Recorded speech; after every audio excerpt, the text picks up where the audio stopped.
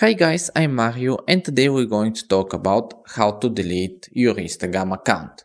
They actually make it pretty hard to delete it, so let me show you how to do it. We open Instagram. Now we open our profile.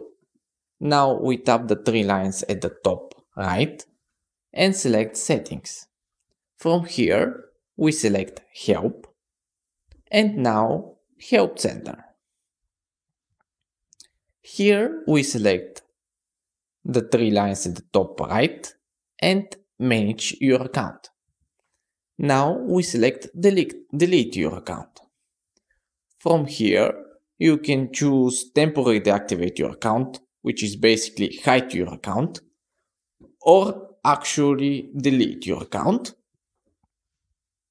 Now we choose instagram.com from mobile browser and now click the link delete your account.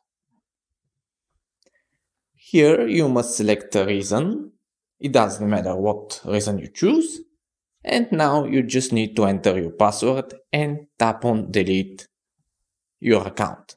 That's it, thanks for watching, if you like this video give it a like and subscribe to see more.